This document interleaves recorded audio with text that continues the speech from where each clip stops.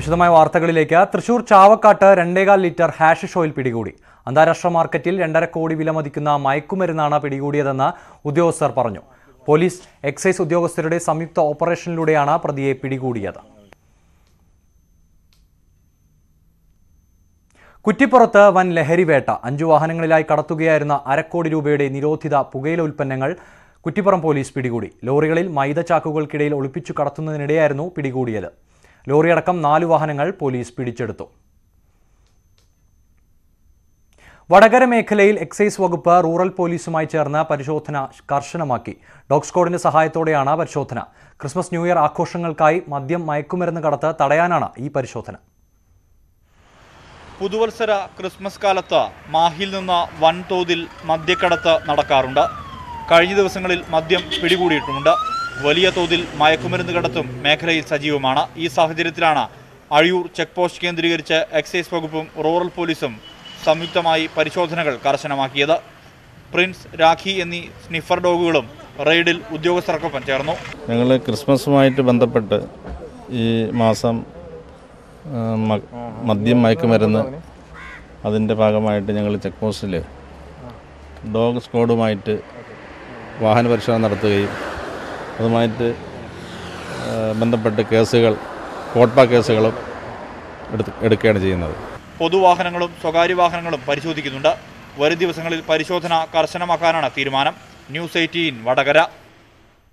മലപ്പുറം കുറ്റിപ്പുറത്ത് തെരുവ് നായ്ക്കളുടെ ആക്രമണത്തിൽ പരിക്കേറ്റ വൃദ്ധൻ മരിച്ചു. കുറ്റിപ്പുറം എടച്ചലം തെക്കേകളത്തിൽ ശങ്കരനാണ് മരിച്ചത്. ഇന്നലെ രാത്രിയാണ് ഇദ്ദേഹത്തെ തെരുവ് നായ്ക്കൾ കടിച്ചത്. പേരശനൂർ എടച്ചലത്ത് ഭാരതപ്പുഴയുടെ തീരത്ത് വൈകിട്ട് നടക്കാനിറങ്ങിയതായിരുന്നു ഇദ്ദേഹം. സ്ഥലത്ത് പശുക്കളെ മേയ്ക്കാനെത്തിയവരും ഫുട്ബോൾ കളിക്കാനെത്തിയ യുവാക്കളുമാണ് നായ്ക്കളുടെ കടിയേറ്റ് രക്തം വാർന്നു കിടക്കുകയായിരുന്ന ശങ്കറിനെ കണ്ടത്. തൃശൂരിലെ ആശുപത്രിയിലേക്ക് കൊണ്ടുപോകും വഴിയായിരുന്നു അന്ത്യം. മേഖലയിൽ തെരുവ് നായ്ക്കളുടെ ശല്യം രൂക്ഷമാണെന്ന് നാട്ടുകാർ പറഞ്ഞു. കോതമംഗലത്ത് പല്ലാരിമംഗലം പഞ്ചായത്തിലെ കുറ്റംവേലിയിൽ പെരുമ്പാമ്പിനെ പിടികൂടി. കഴിഞ്ഞ ദിവസം രാത്രിയാണ് പെരുമ്പാമ്പിനെ കണ്ടെത്തിയത്. തുടർന്ന് നാട്ടുകാർ മുള്ളരിങ്ങോട് ഫോറസ്റ്റ് റേഞ്ച് ഓഫീസറെ അറിയിച്ചതോടെ വനപാലകരെത്തി പെരുമ്പാമ്പിനെ പിടികൂടി. വനമേഖലയിൽ മാത്രം കാണുന്ന പെരുമ്പാമ്പ് സമീപത്തെ പുഴ വഴി വന്നതാണെന്നാണ് നിഗമനം. പാമ്പിനെ വനപാലകർ ഉൾവനത്തിൽ തുറന്നുവിട്ടു. കാട്ടാന ശല്യത്തിൽ പൊറുതിമുട്ടിയിരിക്കുകയാണ് നിലമ്പൂർ ചാലിയർ നിവാസികൾ. കാട്ടാന ശല്യത്തിന് പരിഹാരം കാണണമെന്നാവശ്യപ്പെട്ട് നാട്ടുകാർ ഡി എഫ് ഒക്ക് പരാതി നൽകി. പ്രശ്നത്തിന് അടിയന്തരമായി പരിഹാരം കാണുമെന്നാണ് വനം വകുപ്പിന്റെ ഉറപ്പ്. ജനവാസ കേന്ദ്രങ്ങളിൽ ഉൾപ്പെടെ കാട്ടാനിറങ്ങി വലിയ തോതിൽ കൃഷിനാശം വരുത്തുകയും മനുഷ്യജീവന് തന്നെ ഭീഷണിയാവുകയും ചെയ്യുന്ന സാഹചര്യത്തിലാണ് നാട്ടുകാർ സംഘടിച്ചത്. മേഖലയിൽ കഴിഞ്ഞ രണ്ടു മാസത്തോളമായി നിരന്തരം കാട്ടാനകളുടെ ആക്രമണമുണ്ട്.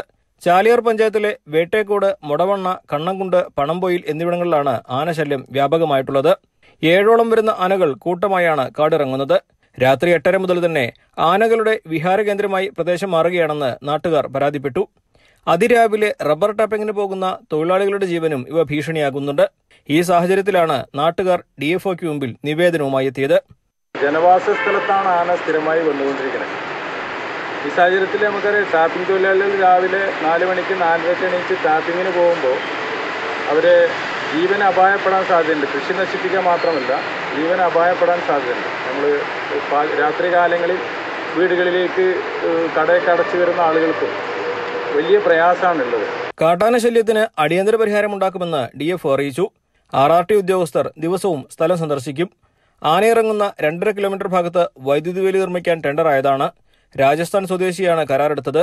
എന്നാൽ ഇയാൾ ഇതുവരെയും പണി ആരംഭിച്ചിട്ടില്ല. നിരവധി തവണ ഇയാൾക്ക് നിർദ്ദേശം നൽകിയിട്ടും നടപടിയാകാത്തതിനാൽ ഈ ടെൻഡർ റദ്ദാക്കി റീടെൻഡർ നടത്തും. രണ്ടാഴ്ചയ്ക്കുള്ളിൽ വൈദ്യുതി വേലി സ്ഥാപിക്കുവാൻ നടപടികൾ ഉണ്ടാകുമെന്നും ഡി പറഞ്ഞു. News eighteen Malappuram. കാട്ടാനയുടെ ചവിട്ടേറ്റ ആദിവാസി യുവാവ് തുടർ ചികിത്സയ്ക്കായി ബുദ്ധിമുട്ടുന്നു. പിണവൂർക്കുടി മണ്ണാത്തിപ്പാറക്കൽ ബാലകൃഷ്ണനാണ് ഈ ദുരിതം അനുഭവിക്കുന്നത്. പത്ത് മാസം മുൻപാണ് പിണവൂർക്കുടി മണ്ണാത്തിപ്പാറക്കൽ ബാലകൃഷ്ണൻ കാട്ടാനയുടെ ആക്രമണത്തിന് ഇരയായത്. വനം വകുപ്പിൽ താൽക്കാലിക വാച്ചറായി ജോലി നോക്കുന്നതിനിടെയായിരുന്നു അപകടം. വനത്തിലുണ്ടായ കാട്ടുതീ അണച്ച ശേഷം വീട്ടിലേക്ക് വരുന്നതിനിടെ പിണവൂർക്കുടി വേലപ്പൻ വളവിൽ വെച്ചായിരുന്നു ഒറ്റയാൻ ആക്രമിച്ചത്. കാട്ടാനയുടെ ചവിട്ടേറ്റ ബാലകൃഷ്ണന് യാതൊരു സഹായവും വനംവകുപ്പിൽ നിന്നും ലഭിച്ചിട്ടില്ല. വലതുകാൽ ആനയുടെ ചവിട്ടേറ്റ് ഒടിഞ്ഞു. ശരീരമാസകലം പരിക്കേറ്റു. വളവായിരുന്നു. കൊടും വളവിന് അപ്പുറം ആന എനിക്ക് കാണാൻ പറ്റിയില്ല. നടന്നു വരികയും ആന എന്നെ ഓടിക്കുകയും ഫ്രണ്ടിൽ വന്ന ആന തട്ടിയിട്ടു. തട്ടിയിട്ട് നേരെ വന്ന് കാലിന് ചവിട്ടുകയും ചെയ്തു.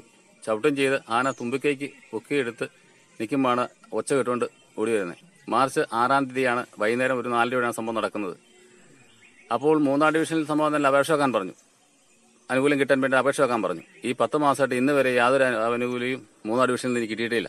കോട്ടയം മെഡിക്കൽ കോളേജിൽ ചികിത്സയിൽ തുടരുകയാണ് ബാലകൃഷ്ണൻ. ചികിത്സാ സഹായം ആവശ്യപ്പെട്ട് മൂന്നാർ ഡി എഫ് അപേക്ഷ നൽകിയെങ്കിലും ഫലമുണ്ടായില്ല. കാട്ടാനശല്യം രൂക്ഷമായ പിണവൂർക്കുടിയിൽ നാട്ടുകാർ ഭീതിയിലാണ്. ഉണ്ടായിരുന്ന വരുമാനം നിലച്ചതോടെ ജീവിതം മുന്നോട്ട് കൊണ്ടുപോകാനാകാത്ത സ്ഥിതിയിലാണ് ബാലകൃഷ്ണൻ. അധികൃതർ നഷ്ടപരിഹാരം നൽകാൻ നടപടിയെടുക്കണമെന്നാണ് ഇദ്ദേഹം ആവശ്യപ്പെടുന്നത്. News eighteen Kothamangalam. രണ്ടാഴ്ച മാത്രം പ്രായമുള്ള നായ്ക്കുട്ടികളെ ചാക്കിലാക്കി റോഡരികിൽ ഉപേക്ഷിച്ച നിലയിൽ കണ്ടെത്തി. വിഴിഞ്ഞം കല്ലുവട്ടാൻകുഴി ഭാഗത്താണ് നായ്ക്കുട്ടികളെ കണ്ടെത്തിയത്. ചാക്കിനുള്ളിൽ അനക്കം ശ്രദ്ധയിൽപ്പെട്ട നാട്ടുകാർ നടത്തിയ പരിശോധനയിലായിരുന്നു ഇവരെ കണ്ടെത്തിയത്. ചാക്കിൽ നിന്ന് പുറത്തെടുത്ത പതിനഞ്ച് നായ്ക്കുട്ടികളെ കോയവളത്തെ സ്ട്രീറ്റ് ഡോഗ് വാച്ച് അസോസിയേഷൻ ഏറ്റെടുത്തു. ഇനി കാർഷിക കേരളം.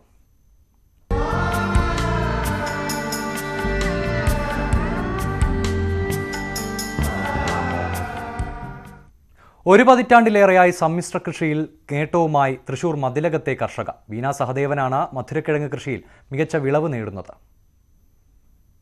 മതിലകം പന്ത്രണ്ടാം വാർഡിലെ അനുഗ്രഹ ജെ എൽ ജി ഗ്രൂപ്പിന്റെ സഹകരണത്തോടെയാണ് ബീന സഹദേവൻ മധുരക്കിഴങ്ങ് കൃഷി കൃഷിയിറക്കിയത് തൊഴിലുറപ്പ് പദ്ധതിയിൽ ഉൾപ്പെടുത്തി നിലമൊരുക്കി. മൂന്ന് മാസം മുമ്പ് എൺപത് സെന്റ് സ്ഥലത്താണ് കൃഷി തുടങ്ങിയത്. ജൈവവളമാണ് ഉപയോഗിച്ചത്. മൂന്ന് മാസം കഴിഞ്ഞപ്പോൾ അഞ്ഞൂറ് കിലോയോളം വിളവ് ലഭിച്ചു.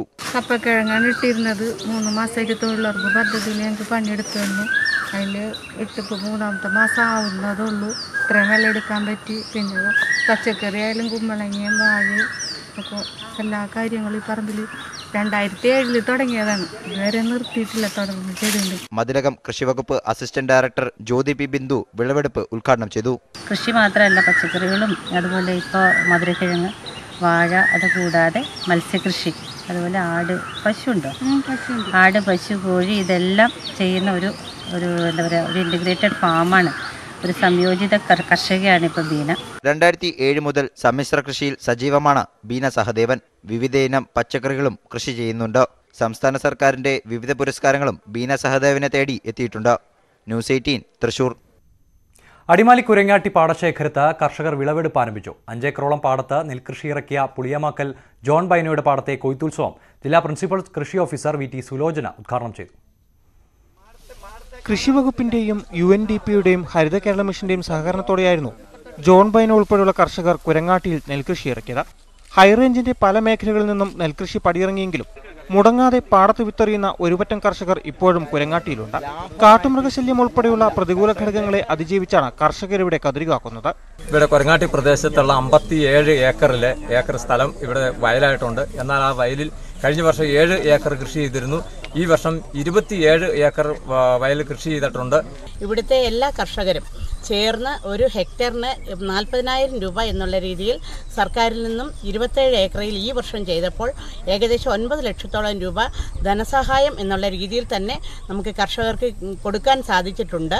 മലബാറിയും ഇത്തിക്കണ്ടപ്പനും രക്തശാലിയുമൊക്കെയാണ് കർഷകർ കുരങ്ങാട്ടി പാടശേഖരത്തിൽ ഇറക്കിയിട്ടുള്ള പ്രധാന വിത്തിനങ്ങൾ. News eighteen Adimali. കാർഷിക മേഖലയിലെ പ്രശ്നങ്ങൾ കണ്ടെത്തുന്നതിനും അവ പരിഹരിക്കുന്നതിനുമായി പട്ടാമ്പി കൊടലൂരിൽ അഗ്രോ ക്ലിനിക് സംഘടിപ്പിച്ചു. പഠന പ്രവർത്തനങ്ങളുടെ ഭാഗമായി പട്ടാമ്പി പ്രാദേശിക കാർഷിക ഗവേഷണ കേന്ദ്രത്തിന്റെ ആഭിമുഖ്യത്തിലാണ് മൂന്ന് ദിവസം നീണ്ടുനിൽക്കുന്ന അഗ്രോ ക്ലിനിക് നടത്തുന്നത്. കാലാവസ്ഥാ വ്യതിയാനവും പുതിയ രോഗങ്ങളും കാർഷിക മേഖലയെ പ്രതികൂലമായി ബാധിക്കുന്ന കാലത്ത് കർഷകർക്ക് പുതിയ അറിവുകൾ കൈമാറുന്നതിനും അവ പഠനത്തിന്റെ ഭാഗമാക്കുന്നതിനും വേണ്ടിയാണ് പട്ടാമ്പിയിൽ അഗ്രോ ക്ലിനിക് സംഘടിപ്പിക്കുന്നത്. പട്ടാമ്പി പ്രാദേശിക കാർഷിക ഗവേഷണ കേന്ദ്രത്തിന്റെ ആഭിമുഖ്യത്തിലാണ് മൂന്ന് ദിവസങ്ങളിലായി അഗ്രോ ക്ലിനിക് നടത്തുന്നത്.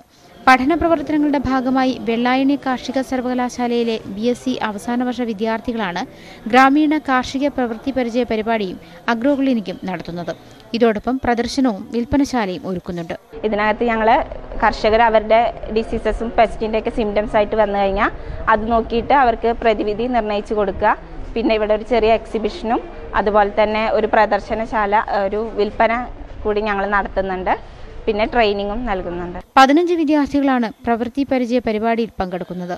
പഠന പ്രവർത്തനങ്ങളോടൊപ്പം കാർഷിക മേഖലയിലെ പുതിയ അറിവുകൾ സമൂഹത്തിലേക്ക് നൽകുകയാണ് ലക്ഷ്യം. പ്ലാന്റ് ഡോക്ടർ കോൺസെപ്റ്റിൽ ഒരു കോൺസെപ്റ്റിലാണ് ഇത് ചെയ്യുന്നത്. അവസാന സ്റ്റേജിൽ എം ബി ബി എസ് പഠിക്കുമ്പോൾ അവർക്ക് അവസാനം ഒരു ഇതുണ്ടാവും ട്രെയിനിങ് ഉണ്ടാവും. അതേപോലെ ഈ അഗ്രികൾച്ചറിലെ കുട്ടികൾക്ക് റാവ എന്ന് പറഞ്ഞിട്ട് rural agriculture work experience programme ഉണ്ടാവും വിളകളിലെ രോഗകീടനിർണയവും അതിനുതകുന്ന പരിഹാര മാർഗങ്ങളും ക്ലിനിക്ക് വഴി കർഷകർക്ക് നൽകി. കൂടാതെ വിള പരിപാലനം പഴം പച്ചക്കറി സംസ്കരണം അടുക്കള ജൈവമാലിന്യ സംസ്കരണം മറ്റ് കാർഷിക വിഷയങ്ങൾ എന്നിവയിൽ സംശയ നിവാരണവും പ്രവൃത്തി പരിചയ പരിപാടികളും സംഘടിപ്പിച്ചു. News eighteen Pattambi. ഓടനാടിന്റെ കാർഷികക്ഷേമം ലക്ഷ്യമിട്ടുള്ള കാർഷിക ഉൽപാദനക്ഷമതാ പദ്ധതി ശ്രദ്ധേയമാകുന്നു. കേന്ദ്ര തോട്ടവിള ഗവേഷണ കേന്ദ്രമാണ് ഫാമേഴ്സ് ഫെസ്റ്റ് പദ്ധതിയുടെ ഭാഗമായി ഉൽപാദകക്ഷമത പദ്ധതികൾ നടപ്പിലാക്കുന്നത്. കഴിഞ്ഞ വർഷമാണ് ഓടനാട് കർഷക ഉത്പാദക കമ്പനി തുടങ്ങിയത്. പത്തിയൂർ പഞ്ചായത്ത് ഏഴാം വാർഡിൽ കാർഷിക വിപണന കേന്ദ്രവും തുറന്നു. പഞ്ചായത്ത് നാല് വർഷമായി നടപ്പാക്കി വരുന്ന ഫാർമർ ഫസ്റ്റ് പദ്ധതിയുടെ ഭാഗമായി വിവിധ പ്രവർത്തനങ്ങളാണ് പുരോഗമിക്കുന്നത്. വനിതാ ഗ്രൂപ്പുകളുടെ നേതൃത്വത്തിൽ നടപ്പാക്കുന്ന മഞ്ഞൾ തീറ്റപ്പുൽ പഞ്ഞിപ്പുൽ ചോളം എള്ള് തുടങ്ങിയ കൃഷിയിൽ മികച്ച വിളവാണ് ലഭിക്കുന്നത്.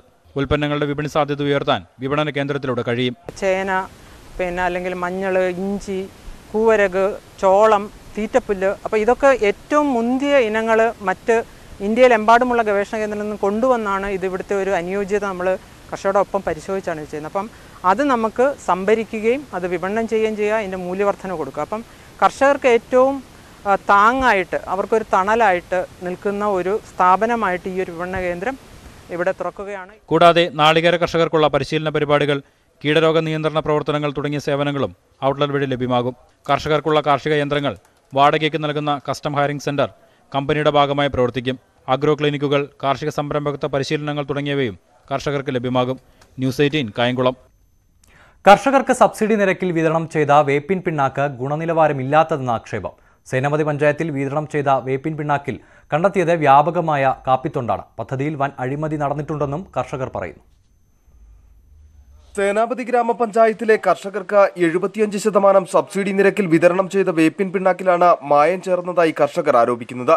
പിണ്ണാക്ക് ചാക്കുകൾക്കുള്ളിൽ വ്യാപകമായി കാപ്പിത്തൊണ്ടാണ് കണ്ടെത്തിയത്.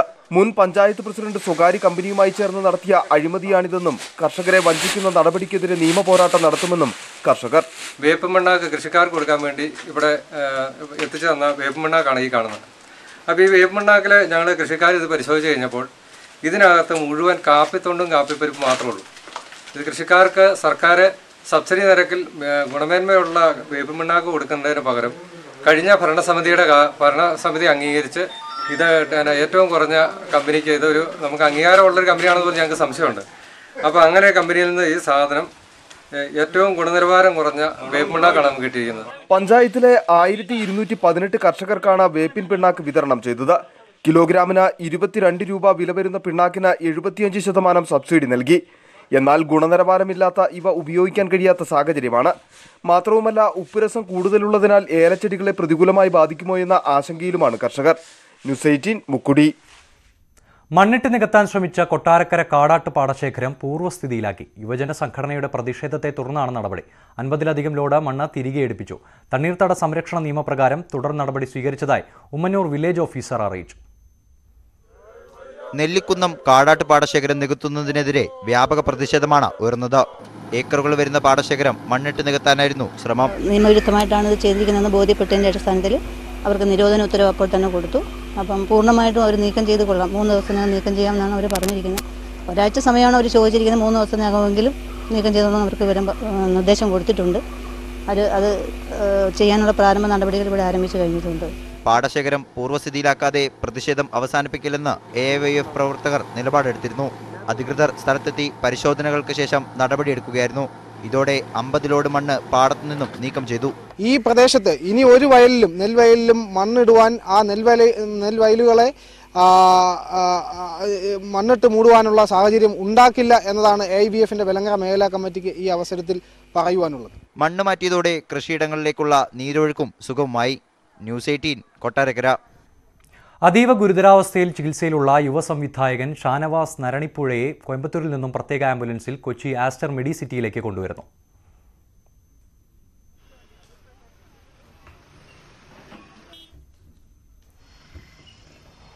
പ്രസാദ് ഉടുമ്പിശ്ശേരി ചേരുന്നു വിവരങ്ങളുമായി. പ്രസാദ് ഇപ്പോൾ അവർ എവിടെ എത്തി ഗതാഗത ക്രമീകരണങ്ങൾ ഏത് രീതിയിലാണ്?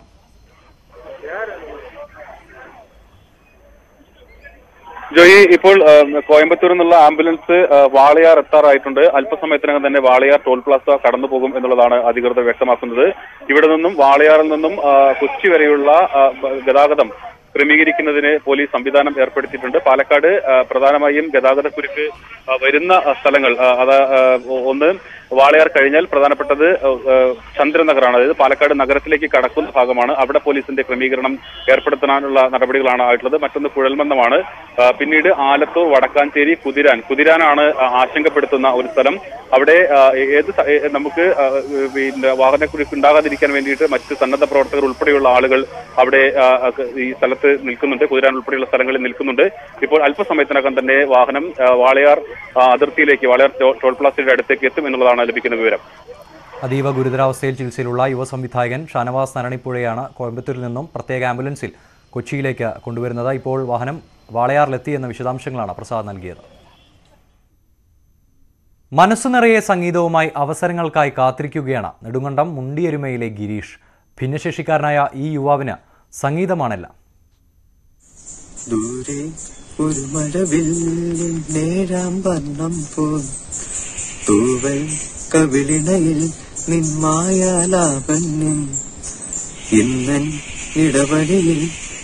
നെടുങ്കണ്ടം മുണ്ടിയേരുമയിലെ വാടക വീട്ടിലിരുന്ന് ഗിരീഷ് പാടുന്നത് നല്ലൊരു ജീവിതം സ്വപ്നം കണ്ടാണ്. സംഗീതം തനിക്ക് അവസരങ്ങൾ നൽകുമെന്ന് ഗിരീഷ് വിശ്വസിക്കുന്നു. ചെറുപ്പകാലത്തുണ്ടായ കുടുംബ പ്രശ്നങ്ങളാണ് പുതിയടത്ത് പുത്തൻ വീട്ടിൽ ഗിരീഷിന്റെ ജീവിതത്തെ മാറ്റിമറിച്ചത്. അഞ്ചാം വയസ്സിൽ പിതാവ് കുടുംബത്തെ ഉപേക്ഷിച്ചു. തുടർന്ന് നിരവധി പ്രതിസന്ധികൾ. കല്ലാർ ഗവൺമെന്റ് ഹയർ സെക്കൻഡറി സ്കൂളിലെ അധ്യാപകരാണ് ഗിരീഷിലെ ഗായകനെ കണ്ടെത്തിയത്.